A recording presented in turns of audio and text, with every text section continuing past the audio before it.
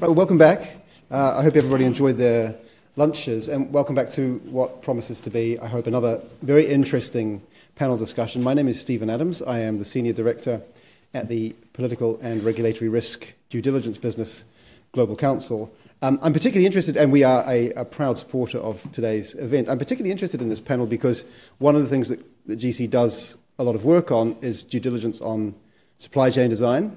And it seems to me that this question of the interrelationship between the development of uh, CBDCs or their analogies and the question of something as fundamental of how, as how we pay for cross-border trade, how we invoice in, international trade, is something that's only just starting to impinge on the consciousness uh, of the men and women that we work for. Um, they don't think very much about what goes on in rooms like this, discussions like this, and they need to think about it a lot more. And in some ways, at least, that's the, the, the subject of our next discussion. Um, I have a fantastic panel. Uh, many of you probably already know uh, Ousmène Mandeng, Michael Lloyd, and Diego Ballon Ossio. I'm not going to introduce them. What I'm going to ask them to do essentially is to introduce themselves by talking about their work.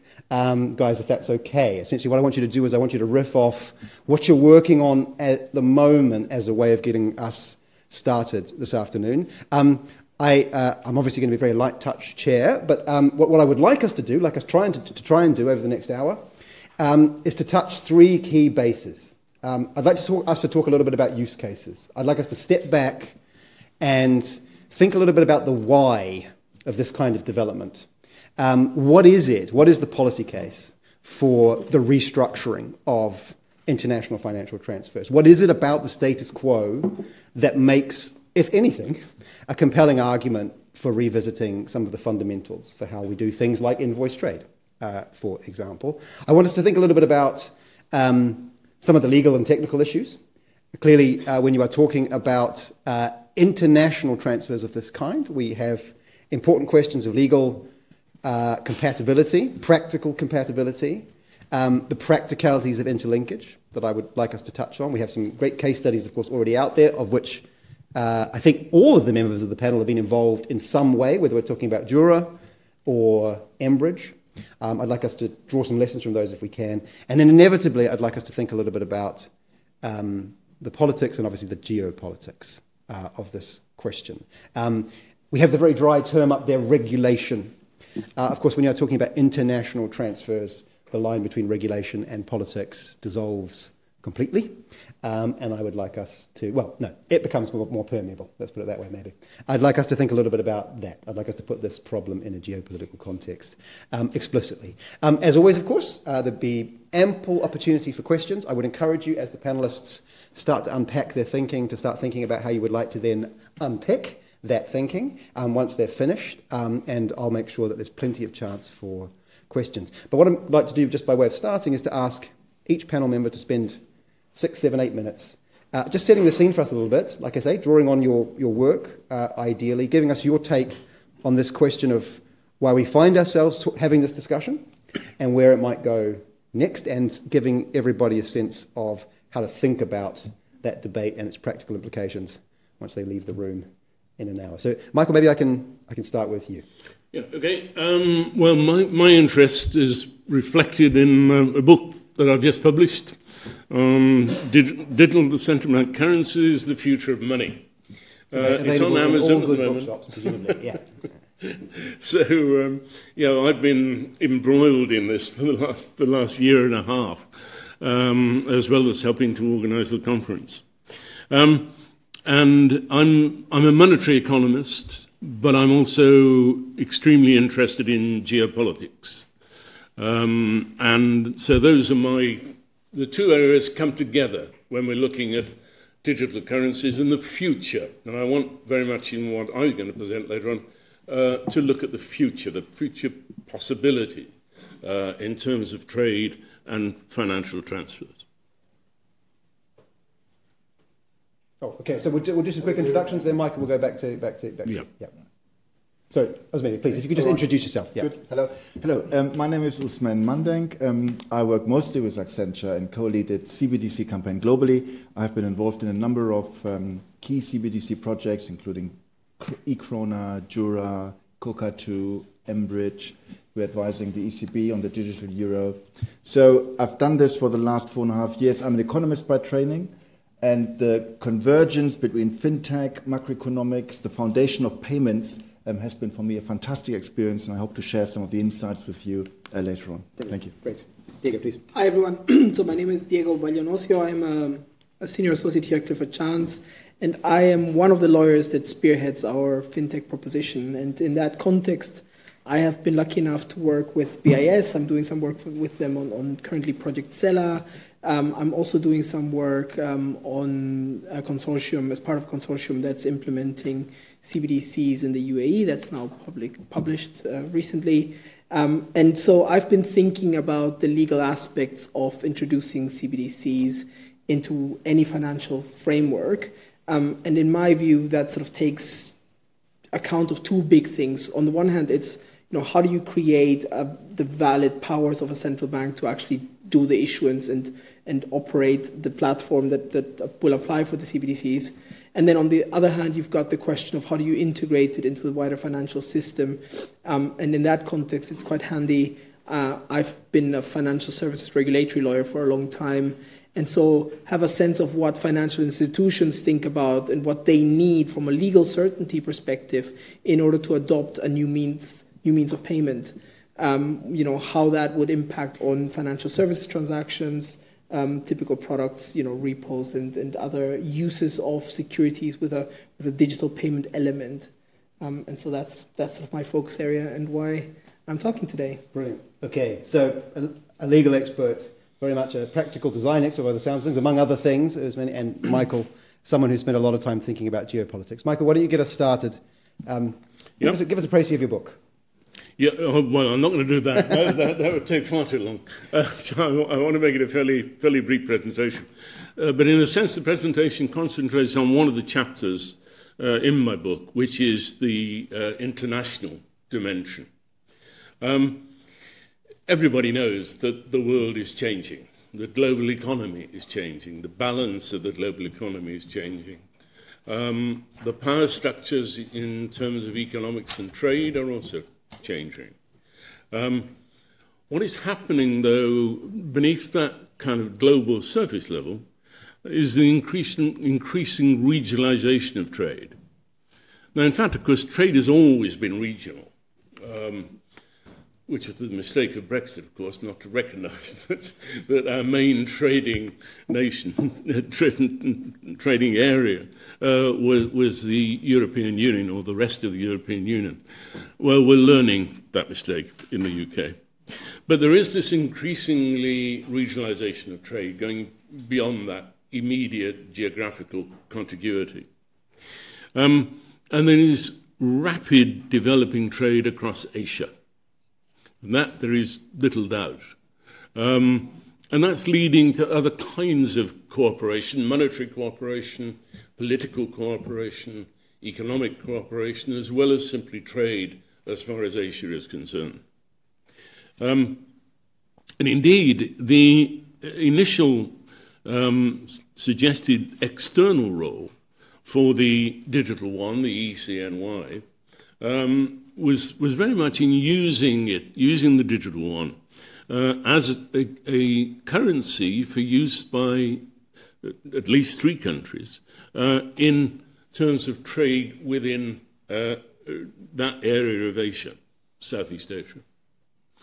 Um, there were internal reasons as well. They wanted to deal with the monopoly of uh, Alipay and WePay, um, who were um, uh, making quite a lot of money out of commissioning payment structure across China um, but all the risks were being taken by the commercial banks. Um, and not surprisingly, the Chinese uh, government system did not wish that to uh, uh, be maintained. At least they could uh, envisage that CBDCs would challenge it. But in terms of its external use, um, in 2014, that was one of the suggestions that it could be used to not just purely bilateral trade with China, but groups of bilateral trade, if you like, small groups, um, that could actually use the digital yuan as the trading currency. Um, now that um, means that when, when you start looking at that idea of digital currency areas, then uh, what I think you can envisage is that this could be quite a significant uh, development. The idea of extended regional uh, digital currency areas. And not just in terms of um, Southeast Asia, or for that matter, if you're talking about China, then Africa as well. And then if you look at, look, look at the idea of the BRICS, then there's another dimension to it as well. But not that. but if you think about it, I mean, the digital euro, if one is established, um, that probably means when it's established, but it's not absolutely certain. Um, then you're looking at the single European payments area. So it's not just the euro area, it's a single European payments area, which is 36 countries, including the UK. Uh, although I'm not sure the UK would be happy about using a digital euro. Um, but you can see the idea that the, the idea of in trading, for trading purposes, and the financing of trade, um, the majority of which, of course, is done in dollars. I mean, but it's not a huge majority. I mean, some 40% um, of trade invoicing is done uh, in, um, in US dollars. But um, so the, the, there is this potential, certainly in relation to trade invoicing, of developing digital currency areas that would ease the transfer of payments uh, within those extended digital currency areas. Now, I'm not saying this is going to happen, but this is something that we need to be looking at, and regu regulators obviously need to be looking at as well.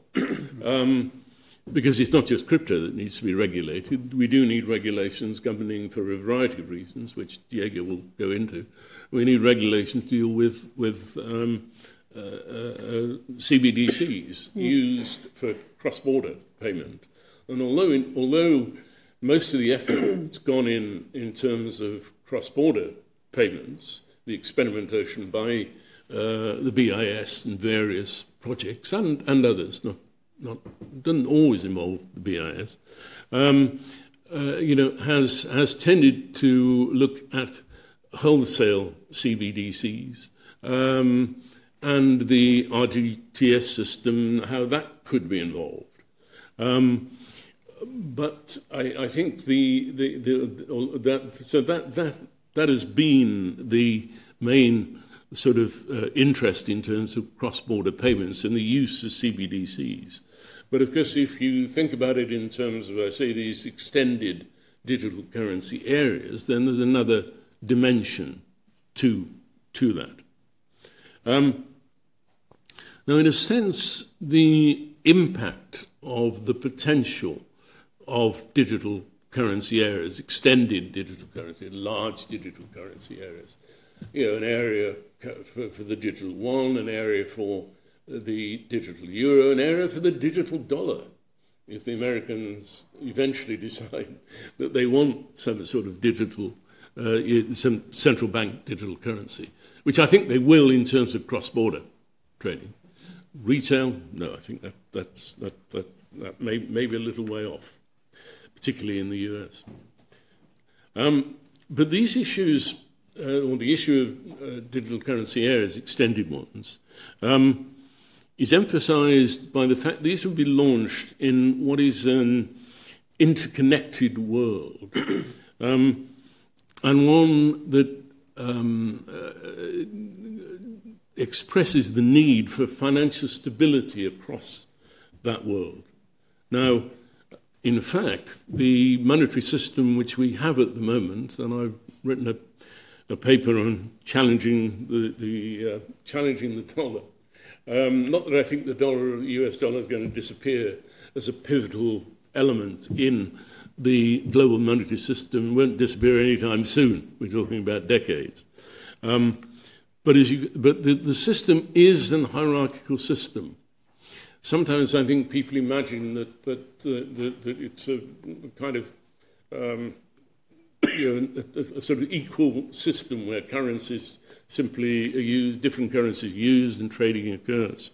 But in fact, the system is maintained by the US dollar and maintained by the um, Federal Reserve Bank um, as a hierarchical system. The Federal Reserve Bank acts effectively as a global central bank, um, which is helpful because otherwise the system would collapse.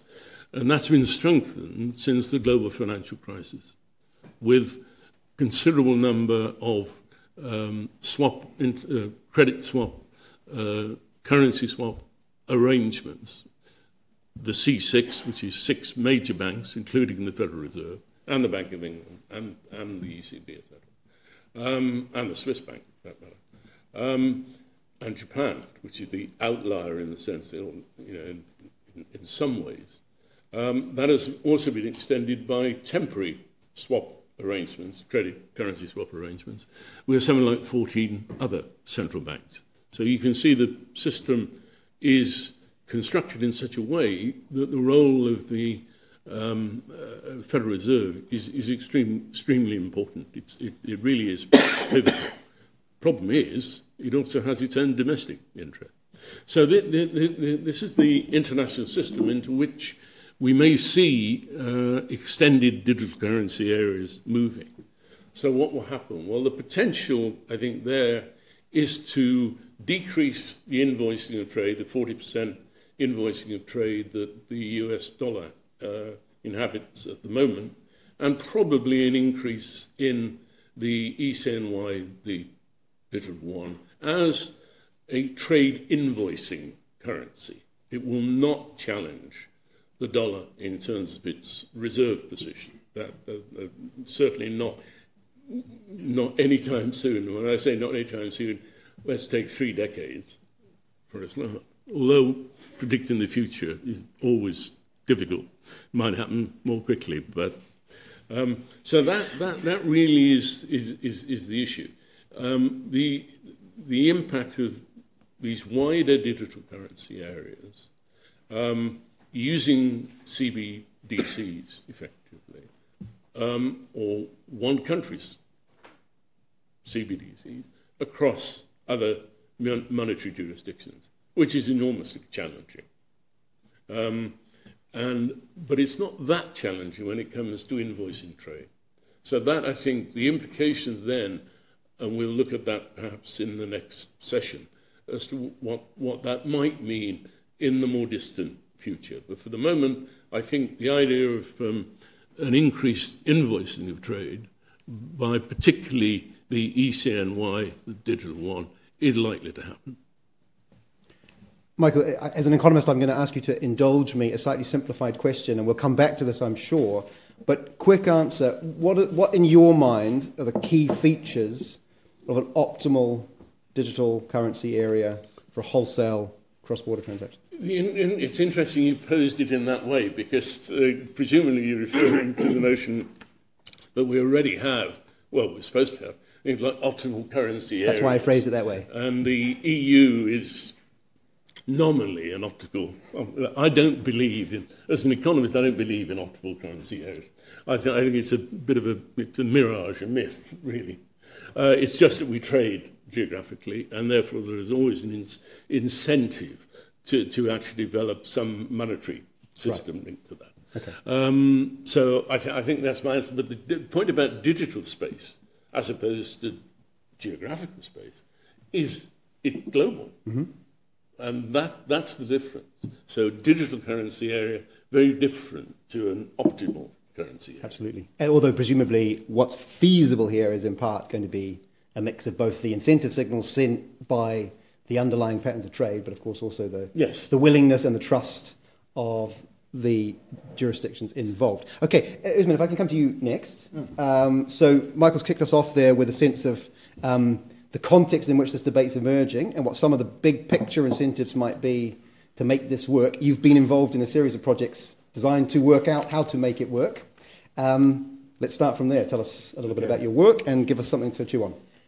Very good, very good. Um, look, I, I met uh, with a group of students I'm tutoring at the, at the London School of Economics this morning, and we, they, they're working on a CBDC project, and they asked precisely the question how would CBDC change anything actually? And, and, and we seem to be saying something that, on the one hand, CBDC is just another format of money, right? On the other hand, we seem to be saying it is going to solve a lot of the problems that we have been having for a long time. And the question is, why, why would that be? Uh, you just change, you just adopt a new format, which is a, a token form of money compared with what we call scriptural money, which is book entry money, and uh, physical tokens, which are banknotes. You know, why would it that in itself make any difference, you see. So I think CBDC has to be seen in a broader context. What, what, did, you, what did you say? Well, I said, look, if you really want to make a difference, one key element you need to change, which is access to central bank money. Right. Okay, so central bank money is extremely local. It's very local. It's only distributed to local banks. For non-residents, yeah. And it is only typically available for non-residents, although you know banknotes obviously circulate widely. The large trolley payment system is only typically used by resident financial institutions. So it's a very, very narrow system. If we really want to change, and this is true in particular for financial, for international financial transactions, then we need to change access. So it's a combination of central banks being willing to give access to a broader group of users, and then the features that the tokens provide that allow us to do transactions, I would say, more efficiently, and you know, add additional features where we can, you know, um, perform uh, use cases which are easily uh, given the out-of-the-box nature uh, of a token-based system compared with, with what we have today. But, but I, I think I'd like us to sort of, that, that should serve us as reference. If we wanted to change it, and if all the debate we have about CBDC, it is a combination of a change in access policy and a new medium. Okay. And then what else did I say? Well, and I say, look, then what is interesting about the token-based nature, you know, and, and it's above all the peer-to-peer nature of how these networks that are typically relying on some form of blockchain or other DLT type infrastructures. The, the peer-to-peer network, we move from a highly intermediated system with long payment chains to one which is peer-to-peer. You know, basically, what we're trying to do is replicating a cash transaction um, in the digital space where in cash we need to be in physical proximity with one another. And you know with these digital tokens we can be conducting these transactions irrespective and we typically say irrespective of space and time. Now we can do that anytime we want okay? That, that's really a key feature. Then we have some additional add-ons programmability etc traceability which are which are really really nice. Um, but then the bottom line is still efficiency. Can we do transactions more cheaply than the current system today. And, uh, and a big, of course, debate about international payments is they're very costly, they're opaque, they take a long time. So for CBDC to really have a dent, it will have to be much better at doing these transactions. And in a peer-to-peer network, typically where transactions can be instant, probably CBDC can do that. And, and we have demonstrated that in a number of projects, actually. So let me, just in the interest of time, I, I refer to um, sort of two projects that we um, have been conducting together with the BIS Innovation Hub. The first one, Jura, with the Central Bank of France and the Central Bank of Switzerland. Here the idea was to use CBDC in an international setting to do foreign exchange transactions and to settle um, a tokenized security on, on chain.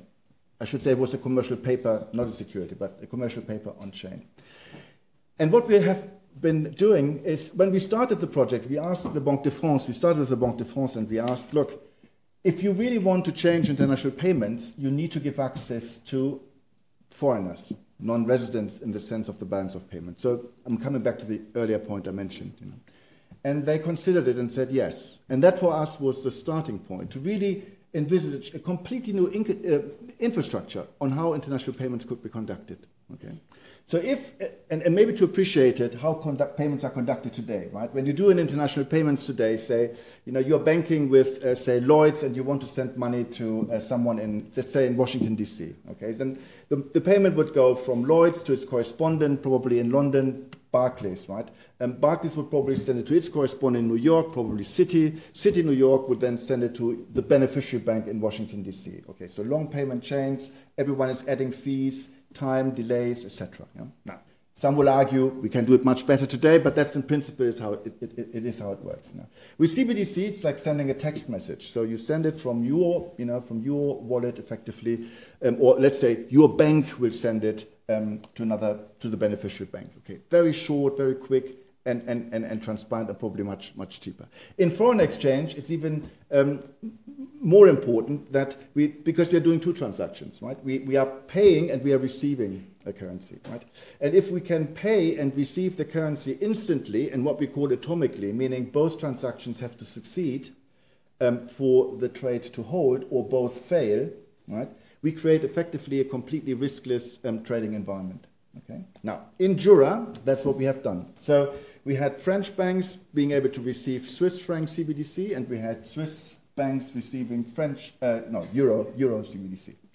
And, and the transaction um, for foreign exchange was conducted in an instant and atomic fashion, right? So the key is the payment is the settlement, right? Well, today, sorry, I'm going to repeat myself, but today we have in payments four type, four transactions: the discharge of the obligation, clearing, netting, and settlement. Okay, with a token, you receive, you take delivery of the token. The trade, the payment execution is the settlement. Okay, so that's a, a big advantage. Then we issued a commercial paper on chain, so a tokenized commercial paper. And then we allowed that paper to be purchased. So we issued it in France under French regulation. By the way, this was not a regulatory sandbox, so we operated within the regulatory environment. We issued the commercial paper in France on chain.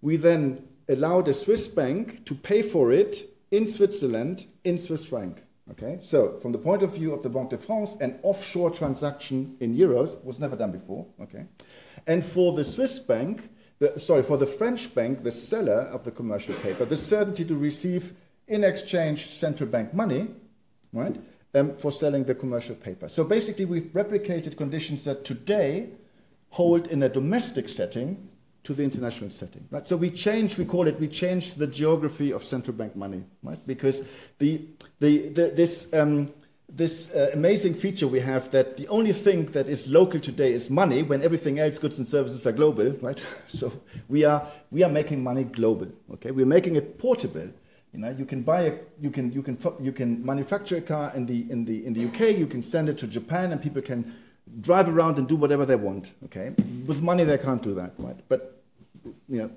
we are doing something that will go it will make money more like a goods and, and, and service okay just one quickly on, on Embridge. mBridge is a, also a fantastic program. We're just now moving into the next its next phase. It's with four central banks: this uh, People's Bank of China, Hong Kong Monetary Authority, Bank of Thailand, and the UAE Central Bank. It's to create a settlement corridor where all the four central banks provide their CBDC to the commercial banks participant in the corridor to allow them to exchange to settle international payments the four currencies. Okay? So again, it's the peer-to-peer nature which makes this really, you know, really, really novel, right? And it's the fact that um, you can settle in central bank money, which means it's, it's very, very safe. An additional ambition is we are using, of course, the local currencies for settling international payments. So um, Michael said earlier the dollar's dominance, right? These countries, typically these four, when they exchange goods and services, they typically pay in dollars, right? They invoice and pay in dollars. No?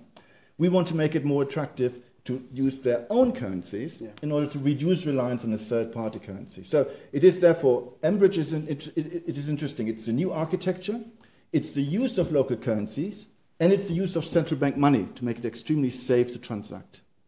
Okay? okay. Let me stop here. Yeah, Sorry. good. No, brilliant. Um, okay, quick fire question. Uh, give us our talking points. What is the one thing we should take away from the mBridge pilot? What is the one thing we should take away from the Jura pilot? Okay, so the one give us our water cooler chat.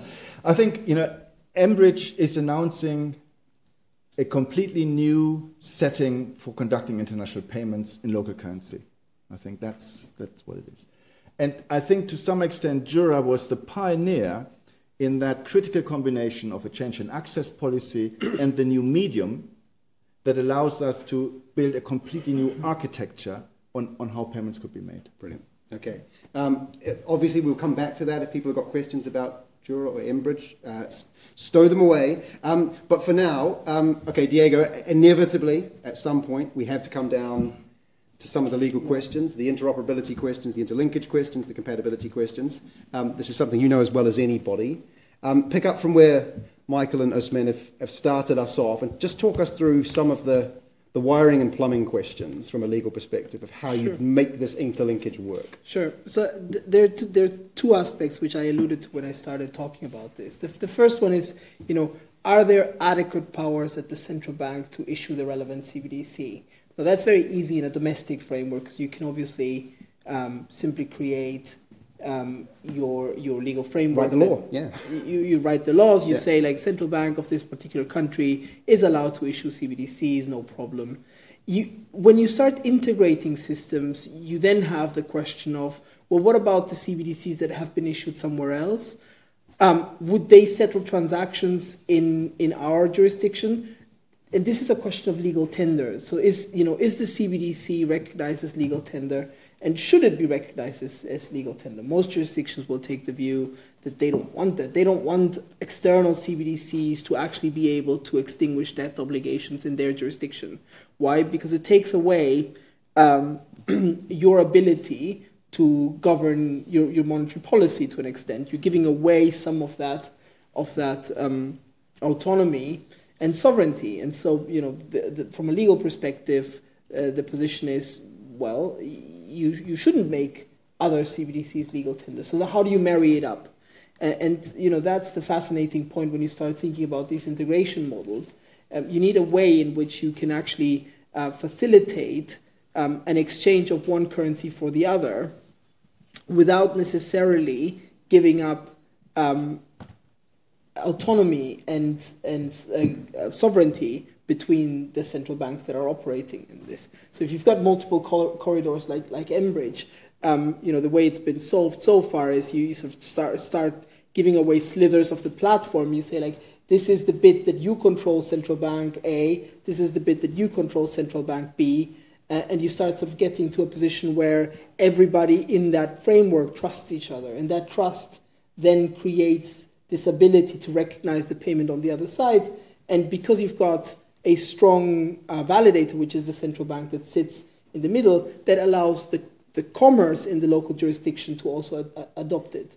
And this takes me to the second point that's important, which is you need legal certainty um, at the level of the, the trading sector that a payment that's being made or that's or, or, any any export that's being made is actually going to get is valid and binding and that you're going to get the money that you've been promised that's fundamentally the point that you're trying to achieve. And in order to achieve that you need to be able to enforce payments in this in this in this new infrastructure. That's the that's the fundamental question. Now how you do that either you do it because you make um, actors that participate on the, on the corridor or platform subject to a set of contractual arrangements that you can then, and here it's, it, it gets really tricky, that you can enforce in every jurisdiction in which that platform operates so that you've got the ability to do this, or you create some sort of delegated dispute resolution mechanism which sort of sits on top of everyone and, and, and decides the disputes.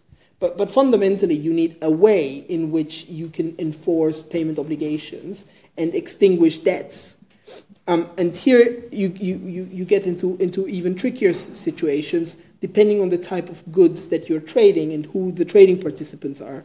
Um, Ousmène has been talking about, you know, in the current, in the current rails, there are um, lots of steps that you take in order to, to, to finalize the, the payment. You've got netting arrangements, you've got clearing arrangements, you know, you've got this concept of settlement finality that will kick in at some point, um, depending on the payment um, system that you're using. Now, all of these concepts don't exist because we want to be inefficient. They exist because um, businesses require the legal certainty that they give you. So, to give you the, the example in respect of the clearing, it's in, in order to get offset counterparty risk. You, you, you use clearing primarily for that purpose. You use netting in order to be able to, to get to a net amount in order to settle your obligations. So that facilitates you don't having to hold lots of liquidity that you would require in the gross. Um, and so on. So, so every step of the, of the chain, settlement finality, this, this concept of settlement finality exists so that the payment becomes irrevocable in the insolvency of the, of the, of the system, and so on. And, and so essentially, you've got a whole set of um, legal fail safes, if you want, that have been baked into the system and may appear as inefficiencies, but are there in order to grant certainty. So the question for lawyers is can, can you, is it okay to rely on the technology and this idea, for example, of, of atomic settlement? Does that therefore negate the requirement for settlement finality? because if it settles automatically, your exposure time to the counterparty is virtually zero. And so, you know, maybe you can you can get comfortable that actually you, you don't need it. Why why do you need um, settlement finality at that point, or, or why do you need to be able to to net the obligations? Makes no sense. Um, and and here you fall back on the system only works efficiently if everybody trusts each other. And I think in the financial services space and the regulatory assessments that, that you know, governments do, they, they, they force you to think about uh, fail situations. They force you to think about instances where the, the, the system does not go smoothly. And so the, it's very difficult to, to try and persuade a regulator to give away some of these very embedded fail safes that exist. And so where you end up is you have to then recreate them within these novel frameworks. Mm-hmm. And that requires, again, some level of giving away some of your legal um, power as a central bank or as a government um, to recognize, for example, that the settlement will be final even in the insolvency of somebody in another jurisdiction and things like that. So, so you, you start um, asking yourself questions that require um, international law to settle them, which you didn't have before. Yeah. And, and I think for financial institutions that are trading on, on, these, on these platforms, it's not a question of, oh, well, why can't they just be more pragmatic? It's a question of requirement. They are required by their regulators to take a risk averse position Absolutely. because they're handling other people's money. And so, yeah. you know, you need that legal it's, it's, like, it's, like, any debate about difference. Uh, it goes straight onto very sensitive territory. Yes. Yeah. And you need that legal certainty in order to achieve this efficiency. And that's what we're sort of trying to achieve, I think. Um, we're not there yet, but we're working hard to getting it. Yeah. I mean, the, the, the two points you've made there one about the, the, the need for a dispute resolution mechanism, the other about the need essentially to be willing to extend an element of deference, whether it's around uh, settlement finality or anything else. I mean, that raises the question, maybe I'll just ask this as a question, which is to what extent do you think it's inherent in the design of these kinds of systems that jurisdictions have to get comfortable with giving away an element of sovereignty? Is this a sovereignty problem or not? Um, I think it is insofar any integration is a, is, is a sovereignty question. Yeah. Any sort of integration requires parties to try to trust each other and, and give away a little bit of their of their sovereignty. That's how it works. That's how the EU works ultimately, right? And so I think yes, it, it, it is. I think you know, and this is where geopolitics becomes really interesting, because right. you know, at, at what level and, and with whom are you comfortable entering into these sorts of arrangements, and what if ten years down the line, you know, your your your participant decides to take a very different political position to yours what's your ability to control that, roll back? Um, you know, the more you integrate, the harder it is to roll back, as we're seeing. And do you think these platforms necessarily need an element of centralized governments, or will it be possible to run them on an entirely decentralized basis? I think you can run them decent. I mean, there, there, can be decentralization from a technology perspective. I think that's slightly different, though. Um, because the political consensus needs to sit above that. Exactly. Yeah, I get it. Right. Yeah. Great. Um, actually, maybe I can just ask you, uh, mm. um, Diego makes the very, it seems to me, absolutely salient point there, which is that however we might conceptualize these systems, they will first and foremost appear in the interlinking of groups of states that trust each other in a very profound way. What does the Jura and mBridge experience tell us about that dimension? Why was it those groups ultimately of participants who were able to do this first mover, this first mover step? Yeah. And can I ask if people can start thinking about questions once this minute's finished? Well, yeah. Look, the, the, the, the trust issue. I, I, see things a little bit different than you do, but you know, you see it from a legal point of view. There is a trust issue. I think the fact that we have France and Switzerland, you know, working together on this project. Yeah, it wasn't France. It's not a coincidence. Mongolia also, right? Okay, so there is something there. Yeah, but you see, if you if you take a step back and if you look at financial markets, right, you can buy a U.S. Treasury bond, whoever you are, wherever you are, right? You just buy it. Right? The only thing you cannot buy wherever you are is is, is Federal Reserve money. Okay, so it's not that we, we have today a structure in place where we can acquire any financial asset wherever you and whoever we are. Okay, so we then accept the conditions under which the the, um, the transfer of ownership will be conducted by whoever is the custodian of that asset. But, you know, uh, we, we already have a structure like this today. We just don't have it for what we call money, okay? But we have it effectively for what are very near money type instruments, like, you know, treasury bills, etc. Okay, so that I think is also an important um, perspective. Yeah. And then there is. But that, that isn't part the case because for better or worse, for whatever reason, the US authorities have learned to live with a very large pool of offshore no, holdings but, of dollars. No, but it's not only the US. You can buy a German government bond, you can buy a. Well, but most you know, modern states but, have. And I think it's because the, the government allows you to. I mean, of I course. think that's the point, right? This, and, and you only get it through a chain of intermediaries that you trust. But, but the, key, the key argument is here, and this is what, what changes with money. Who should be allowed to hold central bank money? Right? The, the, the, yeah. And then under what conditions? And then sovereignty, etc.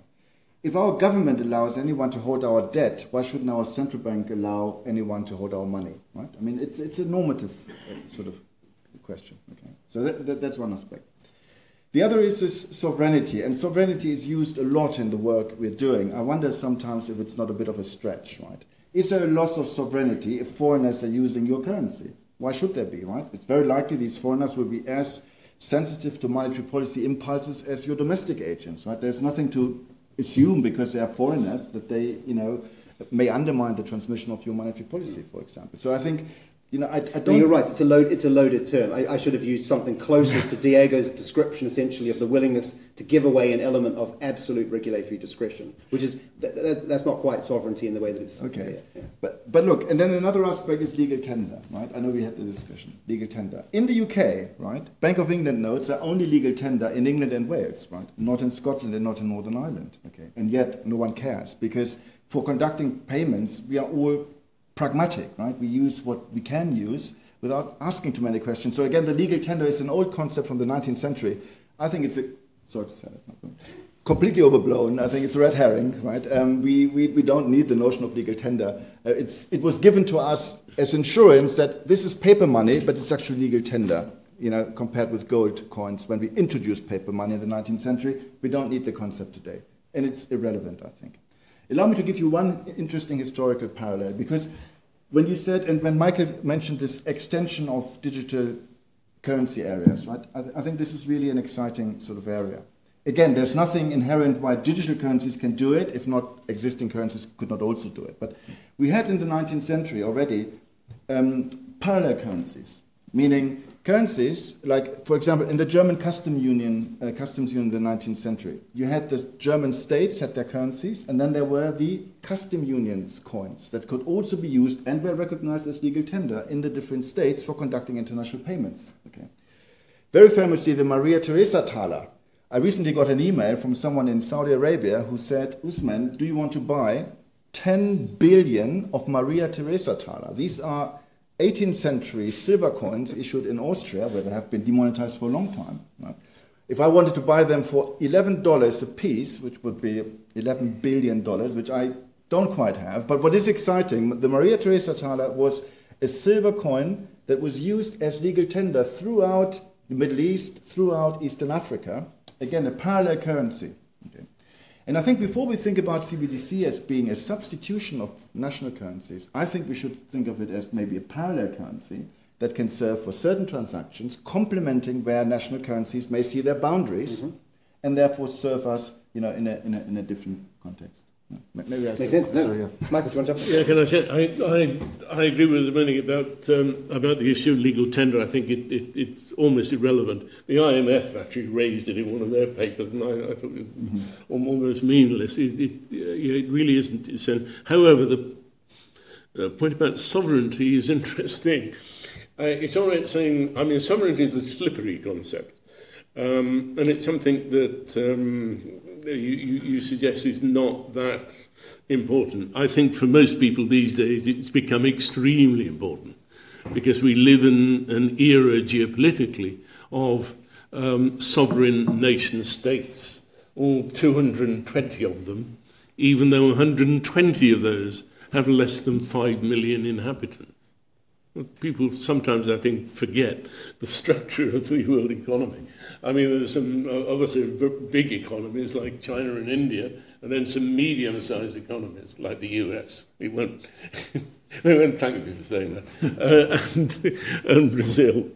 But um, so sovereignty is a problem. The interesting thing about the digital currency areas is that it's quite possible now, given where we are, that all of the 220 countries will want a CBDC and they want to protect their sovereignty. But in fact, the, the, the countries which um, ought to feel uh, more threatened is ones that do have, and that probably doesn't include many of the 120 small countries, uh, that do have some uh, uh well, well balanced monetary and fiscal policy. The ones that don't, and a lot of countries that don't, in one sense, it doesn't really matter. Um, and they are likely, I think, to be willing to surrender whatever that sovereignty is uh, in terms of an efficient trading system. So I think that, that's my best guess. What will happen, happen uh, in, in an evolutionary context?